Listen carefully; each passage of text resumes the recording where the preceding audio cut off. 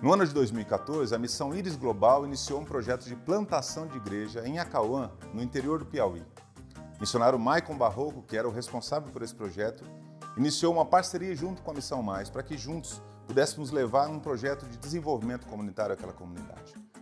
Ao longo dos anos, então, surgiram várias frentes de trabalho, como a Boutique dos Sonhos, uma pequena fábrica de brinquedos artesanais, fábrica de acordes, uma luthieria, onde jovens e adolescentes, além de discipulados no Evangelho, aprendiam uma profissão produzindo seus próprios violões.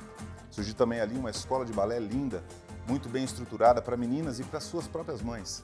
Um projeto que, muito além da dança, visava tocar o coração das famílias. Surgiram escolas de futebol e, enfim, tantos projetos que Deus nos deu o privilégio de participar.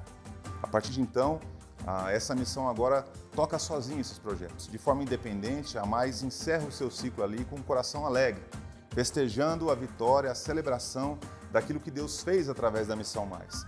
E oramos agora para que a Missão Íris Global, junto com o Elton, que é o novo líder daquela base, e todos os missionários, possam seguir servindo a comunidade lá no interior do Piauí, no sertão brasileiro, para que eles possam crescer, serem relevantes naquela comunidade e levarem o amor de Deus através de suas vidas. Ore pelo projeto do sertão.